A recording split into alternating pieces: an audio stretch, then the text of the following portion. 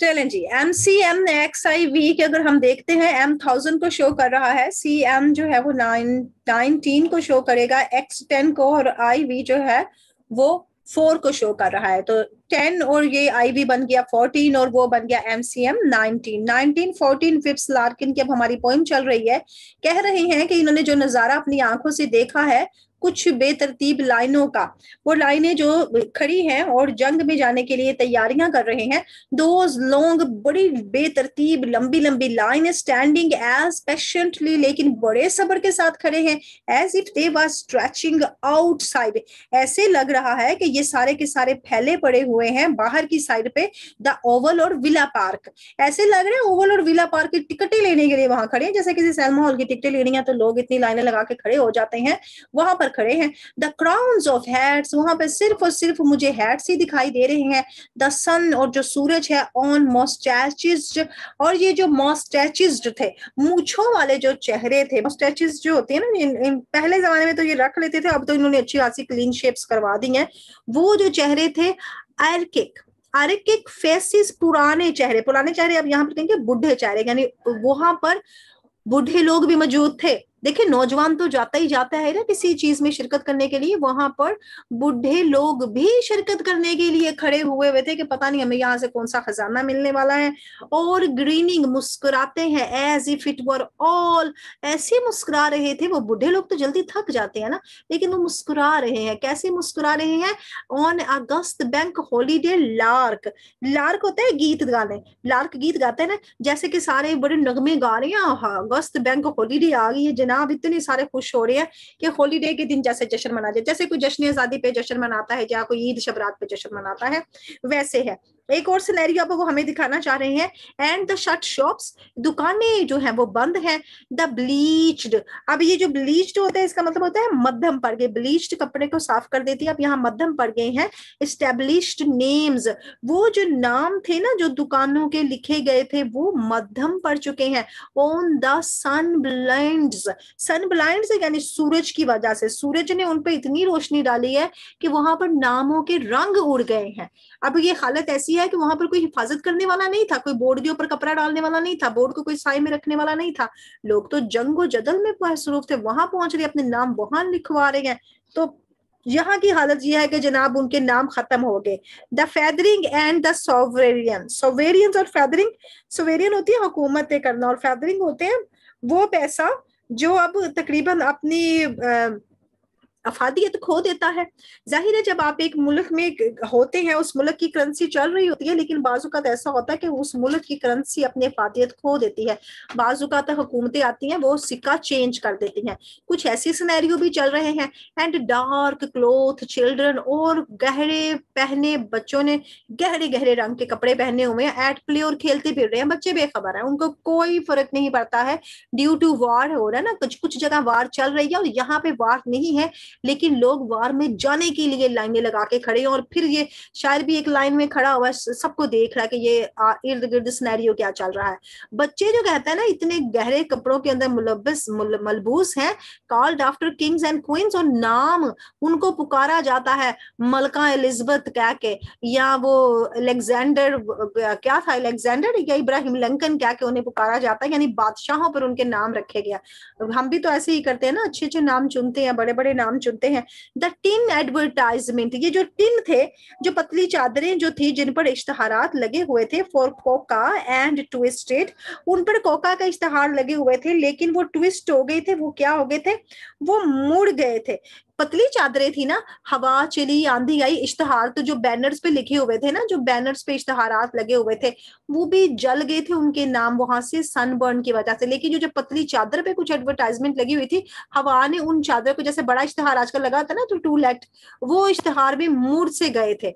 कोई हिफाजत करने वाला नहीं था। एंड द पब्स लेकिन पब्स जनाब वाइड ओपन ऑल डे ये सारा स्नैरियो देखने के बाद भी लोग इतने लाताल्लुक थे अपने आप से, अपने गिरदो नवा से कि शराब खाने और तमाकू नोकी, नोशी की, अयाशी के अड्डे बड़े खुले थे जनाब।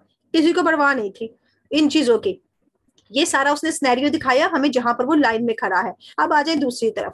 दूसरी तरफ़ वो दिखा रहा है एक और ज़िंदगी जो कि गाँव की ज़िंदगी है।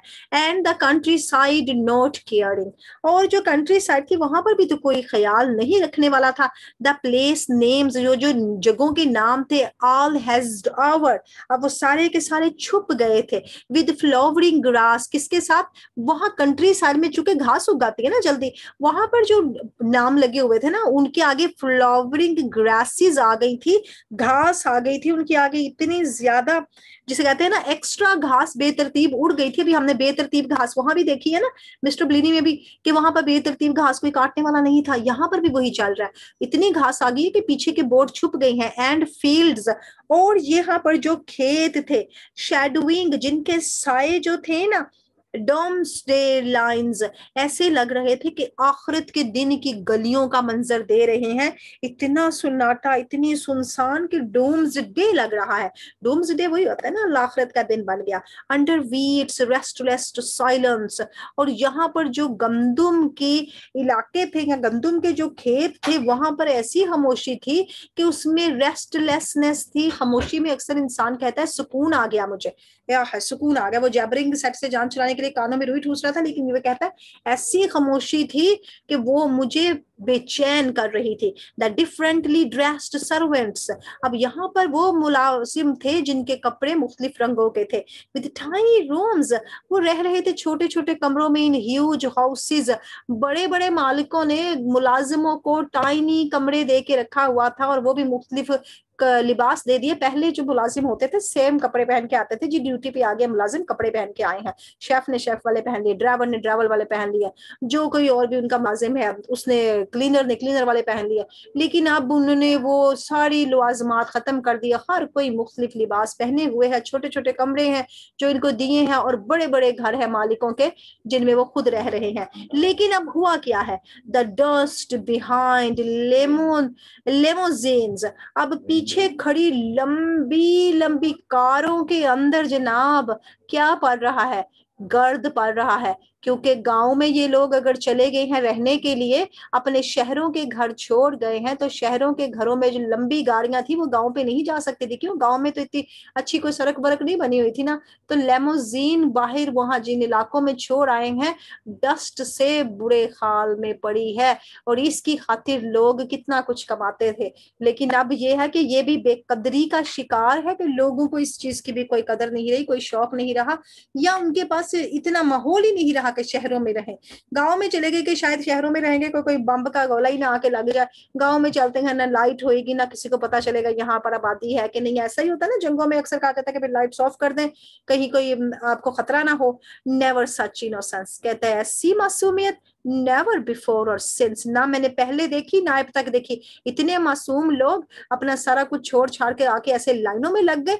कंट्री यार्ड में जाके देखो तो वहाँ भी ऐसी बेरहा फैली फैली हुई थी। ये यहाँ पर इसने बहुत बड़ी आयरनी शो कर दी, क्योंकि आयरनी तो ये अपनी हर पोइम में दिखाते हैं। कहते हैं, ऐसी मासूमियत मैंने नहीं देखी। ना कभी देखी और ना कभी देखूँगा। As change itself to past और इसने क्या कर दिया? इसने अपने आप को बदल दिया। किसके साथ? माजी के साथ। इसने इन लोगों ने अपने आप को माजी के हिसाब से बदल दिया। विदाउट अ वर्ड एक लफ्ज नहीं कहा इन्होंने। हमारे पास ये शहनशाहियत है, हम हम मुझे क्यों छोड़ के जाए? हुकूमत ने कहा, हर बंदे को आना है, जंग में हिस्सा लेना है, सारे के सारे लगे हैं लाइन में। एक लफ्ज नहीं अपने मुँह से बोले। ये होता है पॉज ये पॉज हमेशा आपको ना सोचने का मौका देता है। यहाँ पर राइटर चाहता है कि अब आप सोचो। वेटिंग फॉर वर्डो में आपको ऐसे बड़े पॉज मिलने वाले हैं।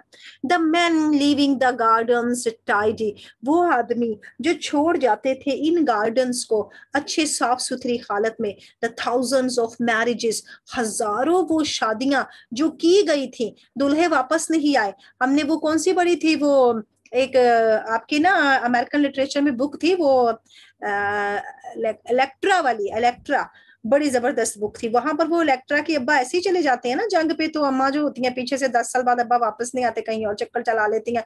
इलेक्ट्रा मॉर्निंग्स बिकम इलेक्ट्रा ये वहाँ की जो शादी थी ना, माँ ने कहा, दस साल हो गए, बाप तो आए नहीं, मैं कहीं और ही कर लू, जनाब अपना रिश्ता फिक्स कर लू। अब यहाँ पर हज़ारों शादियाँ ऐसे बर्बाद हो गई। ये thousands of marriages lasting at a little while longer lasting क्या कर रही थी? अब वो रह गई थी सिर्फ़ कुछ देर के लिए। किसी ने आज ही शादी की थी या कल किसी की शादी किसी के परसों हुई, वो सब बहुत थोड़े अरसे के लिए रही थी। नेवर सच इनोसेंस अगेन ऐसी कहता मासूमियत दोबारा मैं देखना नहीं चाहता कि जंग के असरात में दोबारा देखना नहीं चाहता। जंग के बाद जो मातम है, वो मुझे दोबारा दिखाई ना दे। पता दस मिलियन से ज़्यादा लोग मर गए थे यहाँ पर और कई खातन बेवा हो गई थी। कई खातन का शोहर ही वापस नहीं आए और जब वो वापस आए तो देखा, जनाब मोहतरमा ने कहीं और ही शादी कर रखी है। अब वो बताना चाहता है कि मुझे ये सारी चीज़ें बिल्कुल भी भाई नहीं है और ये शायर का अपना नस्ट्रेलजिया है, उसकी पास्ट मेमोरीज हैं और लोगों को वो यही कहना चाह रहा है कि ऐसी मासूमियत ना मैंने कभी देखी है और ना ही कभी देखूँ।